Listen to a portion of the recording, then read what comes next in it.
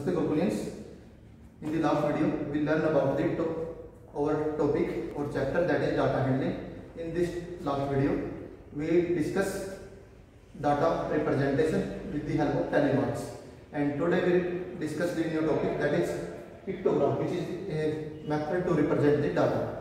In this method we use symbols and pictures to represent the data or to match the frequency, or you may write the definition as a pictograph is built to representing data using pictures and symbols to match the frequency of the different information. You have to focus on two words that is pictures and symbols. Pictures is the way or symbols that we use to represent the data. Symbols we can use circle, square, rectangle, etc. And pictures we use directly pictures of if you be using the data of ice cream then we write the pictures of ice cream if you use data of this bicycle then we use the picture of bicycle and in next talk we consider the example so pause the video let us consider the first question and the first question is the number of cycles produced by a factory in the five consecutive weeks in the given this is the data and the i weeks are given and the number of cycle produced per week is given that and we have to represent the data in the form of pictogram that means we have to represent the data in the form of pictures or symbol here we see the data in the form of numerical now we represent this data or information in the form of pictures let us start first we have to make two columns, one for the week and second for the number of the cycle. Like here, weeks and the second for the number of cycle. How we represent this information? First, we have to write week, first, second, third, fourth, and fifth. Write first, second, third, fourth and the fifth degree. Now we have to represent 600 here in the form of symbols or picture. As you know, directly we cannot represent 600 pictures or symbol here.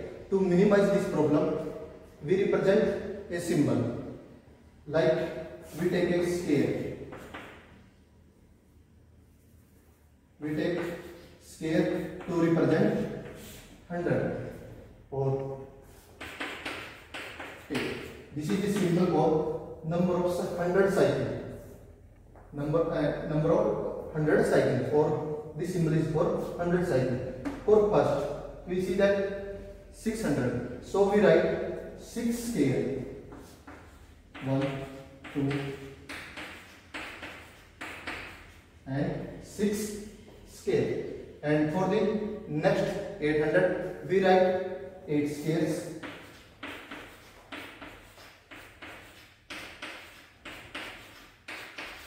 Two, four, six, seven, and eight.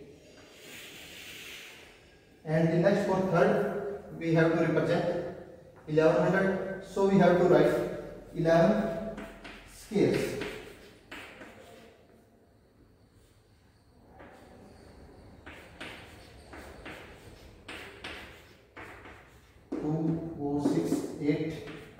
9, 10 and 11 and next for the fourth week there is 900 so we have to represent 9 symbols or 9 scales right 1 2 3 4 5 6 7 8 and 9 that's all and next for the fifth week we have to represent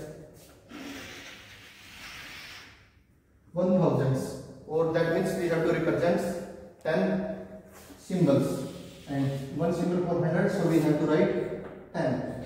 One, two, three, four, five, six, seven, eight, nine, and 10 this is the representation of data in the form of pictures you can study easily the data here the one scale is represented for 100. Here you see that 3 and 3, 6 pairs.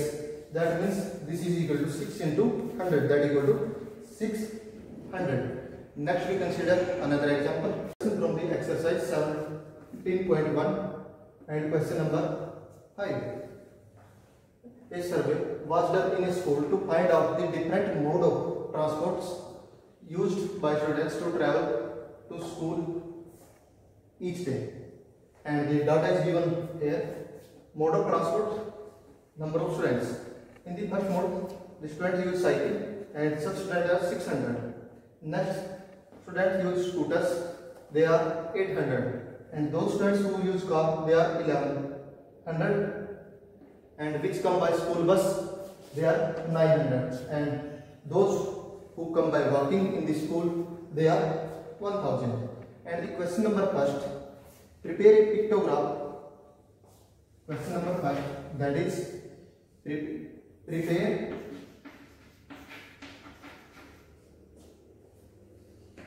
prepare a pictograph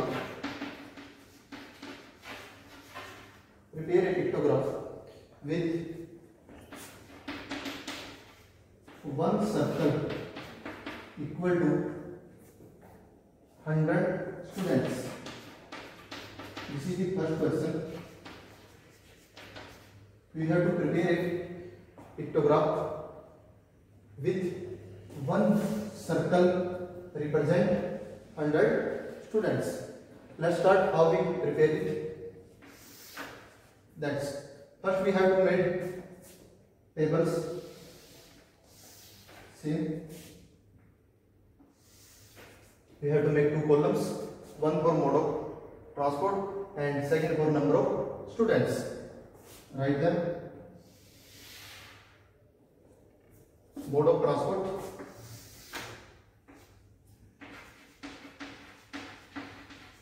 mode of transport and in this second column you have to write number of students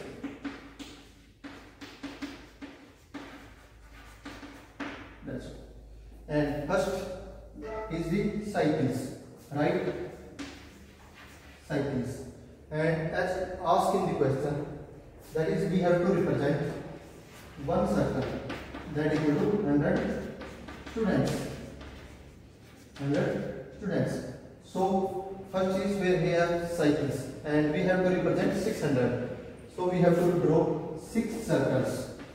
1, 2, 3, 4, 5 and 6. For 600 we have to draw 6 circles. And next mode of transport is scooters. Now we have to write scooters scooters is used by 800 students. So we have to write 8 circle that to represent the 800. Right? 8 circle 1, 2, 3, 4, 5, 6, 7 and 8. Now next is car and four car there are 1100 students who use car. So we have to represent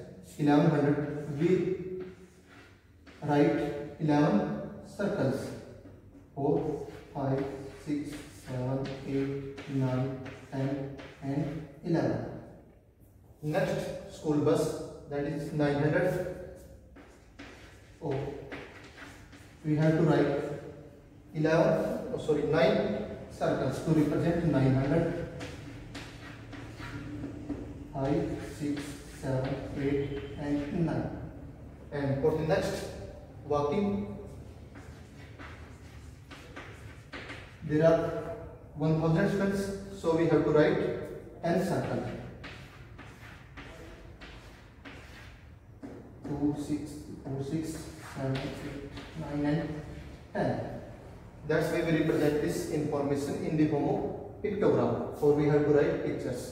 and next we discuss few examples on this data and take the next now on the same question there are two more questions part b and part c and read the part b which is the most popular mode of transport which is the most popular mode of transport we have to represent pictograph to represent this data now see from the pictograph which has more circles as you see that Here eleven circle represents four car. Here we say that there are eleven circles for car and the most popular mode of transport is car. And same question is again which is the least popular mode of transport which is most which is the least popular mode of transport you have to see this data and which has lesser number of circle that mode of each list see that cycle here we get 6 circle and here we 8 11 10 and 9 so here we see that 6 circles that is the least mode of transformation transport and which is cycles that's your answer and this is pictograph helps us to find the answer easily and fastly. Now this is the last question for today and the last question is the number of hockey sticks sold by server stopped during a week are given below and is on Monday the number of hockey sticks sold is 4 on Tuesday hockey sticks sold is 12 and Wednesday 8 Thursday 16, Friday 20 and Saturday 8. Now what we have to do in this question? Taking one as four hockey sticks. We have to use this symbol to represent four hockey sticks and represent the above data as pictograph. That means we have to represent this data in the form of pictures and pictures that we have to use these symbols and these symbols is equal to four hockey sticks. Now how we represent it? We have to first make two columns. In the first column we represent the day and in the second column we represent the number of cookies sold. First, in this column we represent the day and in the second column number of cookies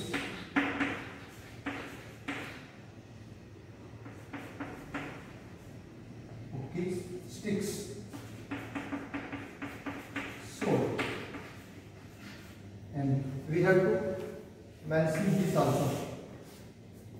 We have to use this symbol for representation for hockey sticks.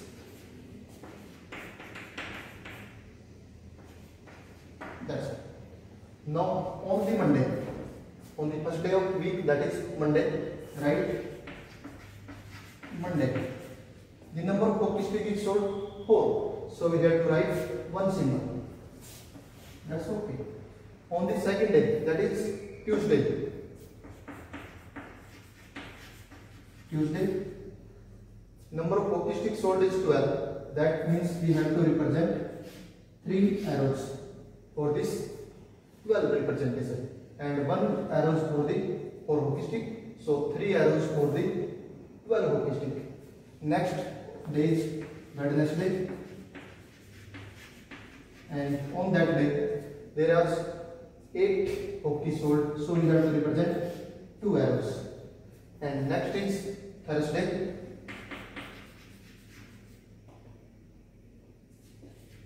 Thursday and number of hockey sticks sold on Thursday is 16 that means we have to represent 4 arrows for 16 and next is Friday. Friday 20 stick, hockey stick is short so we have to represent 5 arrows.